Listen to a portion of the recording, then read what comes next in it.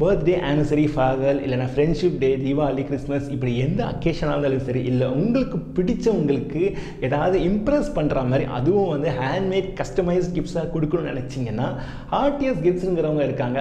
அவங்க வந்து இது மாதிரி ஹேண்ட்மேட் கஸ்டமைஸ் கிஃப்ட்ஸ் ப்ராடக்ட் பண்ணிகிட்டு இருக்காங்க அவங்களுடைய ப்ராடக்ட் வந்து இன்ஸ்டா பேஜில் போய் பாருங்கள் ப்ளஸ் அவங்க நிறைய ஆஃபர்ஸ்லாம் தராங்க.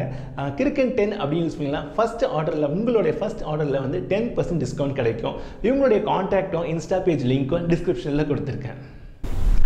உலகத்திலே இந்தியாவில் குழந்தைங்க அதிகமாக இருக்காங்க. அதாவது உலகத்தோட பத்தொம்பது சதவீதம் குழந்தைங்க இந்தியாவில் தான் இருக்காங்க. என்னடா திடீர்னு குழந்தைங்களை பற்றி பேசணும்னு நினைக்கிறீங்களா? ஹாய் ஹலோ வணக்கம். நான் உங்களுக்கு இருக்கேன். இன்னைக்கு தெரியும் நான் தெரியாத செக்மெண்ட் நம்ம பார்க்க போகிறது சைல்டு அபியூஸ்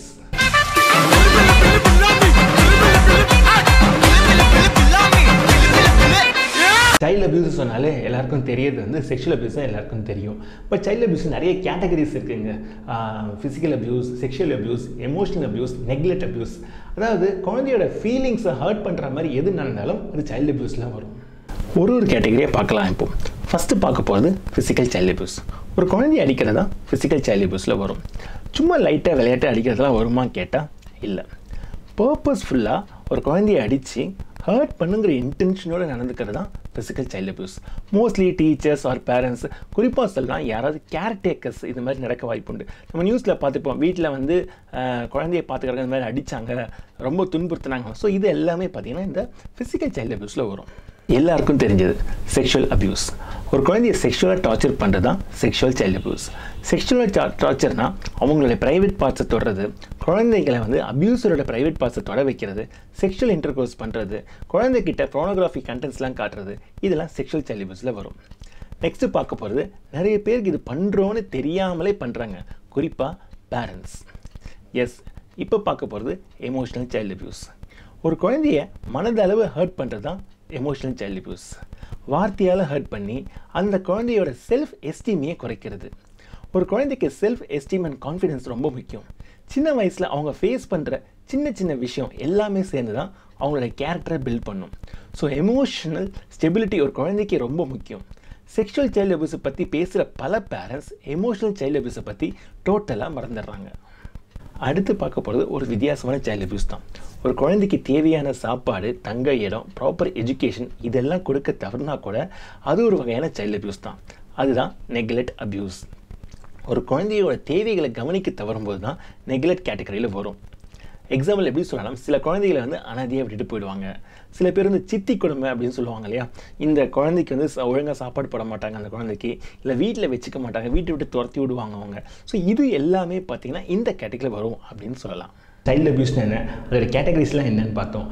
இப்போ வந்து ஒரு குழந்தை சைல்டு அபியூஸ் இருக்குன்னா எதை வச்சு அதுக்கு நம்ம கண்டுபிடிக்கிறது? அப்புறம் கவர்மெண்ட்டில் என்னெல்லாம் ஆக்ட் இருக்குது அதுக்கப்புறமா அதை எப்படி ரிப்போர்ட் பண்ணுறது அப்படின்னு நம்ம பார்க்கலாம். ஒரு குழந்தை வந்து அபியூஸ்க்கு உள்ளாக்கப்பட்டால் அதுவும் வந்து சொல்லாது.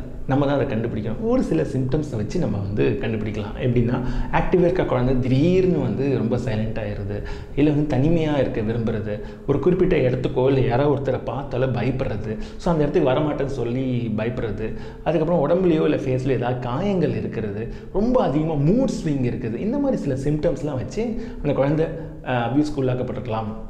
அப்படின்னு சொல்கிறாங்க இன்னொன்று என்னென்னா இந்த மாதிரி விஷயங்களை பேரண்ட்ஸ் தான் கண்டுபிடிக்கணும் நம்ம தெரிஞ்ச குழந்தை இந்த மாதிரி சிம்டம்ஸ்லாம் இருந்துச்சுன்னா அதை வந்து நம்ம வந்து அவங்க பேரண்ட்ஸ்க்கு அலர்ட் பண்ணலாம். இந்தியாவில் என்னெல்லாம் பாலிசி இருக்குதுன்னு பார்த்தலாம் national policy for children nineteen seventy four national policy on education nineteen eighty six national policy on child labour nineteen eighty seven national nutrition policy nineteen ninety three report of the committee on prostitution Child Prostitutes and Children of Prostitutes and Plan of Action to Combat Trafficking and Commercial Sexual Exploitation of Women and Children 1998, National Health Policy 2002, National Charter for Children 2004, National Plan of Action for Children 2005.